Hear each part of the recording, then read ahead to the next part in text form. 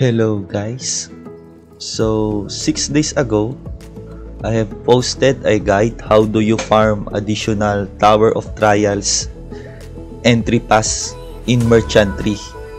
And if you remember on that video, I own 17 pieces. Now 6 days forward, which is today, I already own 40. So that's how fast I am farming Tower of Trials now. Because uh, currently I already have uh, 6 towns with max rapport. And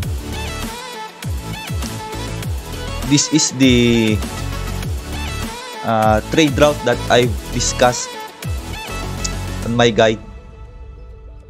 So initially I have 6 towns, Trent to Behr, to Calpheon, Calpheon to Epheria, Epheria to Florin, then Florin to Delphi Outpost. So all of these six towns right now are max rapport in my merchantry. And now I'm expanding it to Glish. So Glish will be my seventh target town to maximize the rapport. And then uh, same way as I did to Delphi Outpost.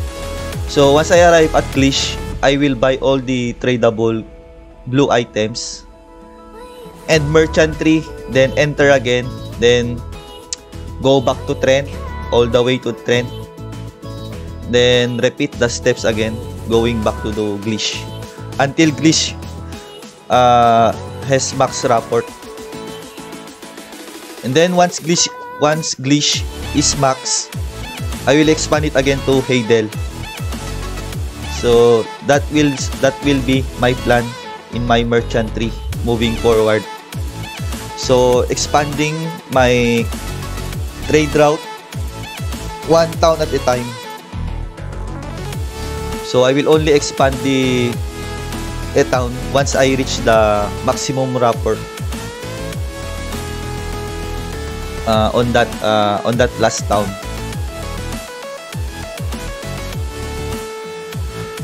So if you're not yet aware, actually 40 uh, TOT entry pass. If let's say I can finish the Tower of Trials up to the current floor, that would that's already equivalent to 6,000 plus boss rush tickets and ancient ruin tablets. But I'm not using this one yet, so I'm stacking this and then I will use it uh, once uh, Pearl Abyss buff the rewards on the Tower of Trials. So right now I'm not using any TOT. I'm just stacking them. And just a tip or just a reminder, make sure that your resources is always uh, 15,000 and above for every each of your or of your resources. Because one TOT pass is equivalent to uh, I mean will cost you 15,000 plus resource.